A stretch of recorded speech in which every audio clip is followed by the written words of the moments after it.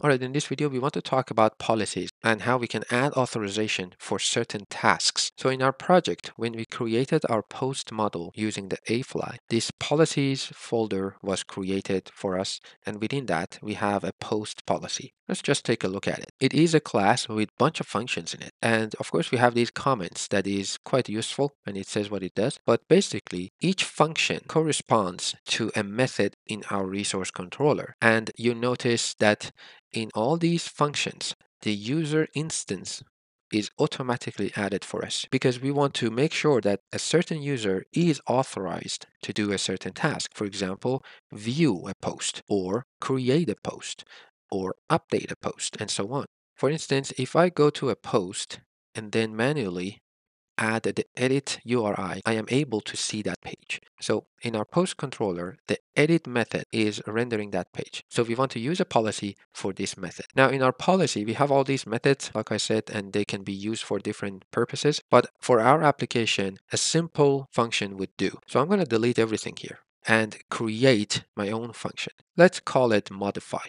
So I want to see if the user is authorized to modify a post at all. It doesn't matter if it's delete, update, or view, it's just modifying a post. So we want to accept the user as well as the post instance because we want to see if that user owns that particular post. And the return type is going to be a boolean. So basically a true or false value. And in the body, we just want to check if the user ID is the same as the post user ID. So this simple function would just check if the user ID is the same as user ID column in our post table.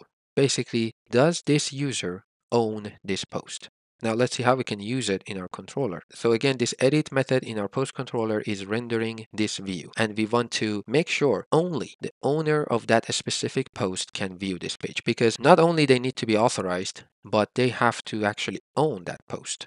Now to add a policy to a certain function, we can use the gate facade. So we have multiple gates. The one that we want to import is from the facades. And on this gate class, we have a static method and that is authorize. This method is looking for a policy's ability.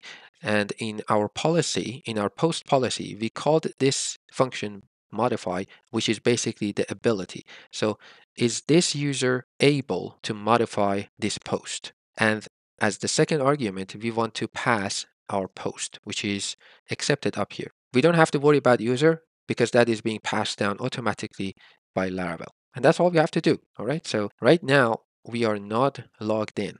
And if we try to reload this page, we get this action is unauthorized. We can check for the users if they were even logged in. So if I log in with John, go to the home page and go to Sarah's post. So this post belonged to Sarah. And if I try to go to edit page, I get this action is unauthorized because I do not own that post. So that's how you can add a policy. Now, all we have to do to protect certain functions is to add this line to any action that we want to protect. So I'm just going to copy this and add it to the update because only an authorized user can update this. So I'm going to add this authorizing the action comment and just going to copy it and add it for destroy as well. Now about the other methods. So the show method is public. We don't have to worry about it. Anyone can visit that. The store method is accessible by any authenticated user. So if they are registered, they can create a post. So we will get back to this in a moment. And we don't have a create method because it is being rendered in the dashboard. And of course, the index page, again, we don't have to worry about it. That is accessible by anyone. So the only part is this store method. We have to ask ourselves, is this something to worry about? Because the only way to go to that form is to go to the dashboard. And we are already adding a middleware to our dashboard. Only authenticated users can go to the dashboard and see this form. But I'm going to show you how you can add controller middlewares to a specific function or exclude one or add just to one. So let's go to Laravel documentation. So if we go to controllers, we have this controller middleware. And we talked about this briefly when we talked about middlewares. So first, we need to implement the has middleware interface. So let's do that.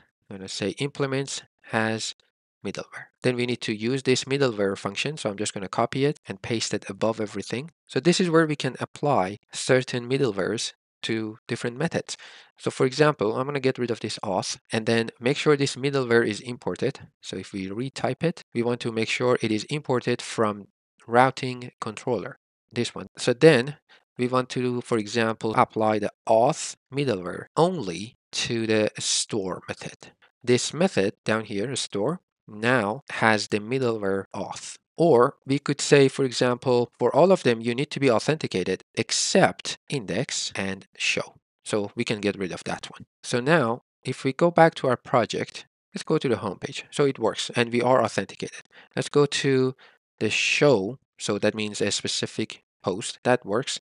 Let's go to dashboard that works. Let's create a post. So new, new post very new post and press create. It is created down here and we can go to the home page. It's right there. Again, let's go to dashboard. I'm just testing everything here. I'm going to go to update. It works. I'm going to update it. It is working. I'm going to delete this ASD. So the second one, the post was deleted. So let's delete this updated, the last one. It is working. Now I'm going to log out. So we are on the home page we can see a specific post. But if we try to go to forward slash edit, so basically updating this post and we are not logged in, press enter. This time we are back to login page. This is because we are applying a middleware now. So remember before we were getting the error unauthorized. That was because of our policy. Now we have a middleware. So first we check if the user is authenticated. And if they are not authenticated, they are redirected to the login page. Now I need to log in with the proper user. So let me go back. This is Sarah's post, right? And if I go to forward slash edit again and log in with that Sarah user, then I can see it. But let's do it again. Let's log out, visit this post again to forward slash edit. This time I want to log in with John, who does not own the post. Log in, we get unauthorized. So this is where the policy comes in. Just by adding this simple function here Inside our controller, we can apply the middleware to all the methods except index and show. So we learned about the basics of authorization in this video, and there is a lot more to it, of course, but our application at this point is functional and it is working. So we have authentication in place, we have authorization, we learned about pagination, database migrations, database relationships, and so many other features. And from this video onward, we are just going to kind of improve our application. For example, I want to add uh, sending emails or adding images to our posts. So thank you again for staying with me up to this point and I appreciate all your support. Bye for now.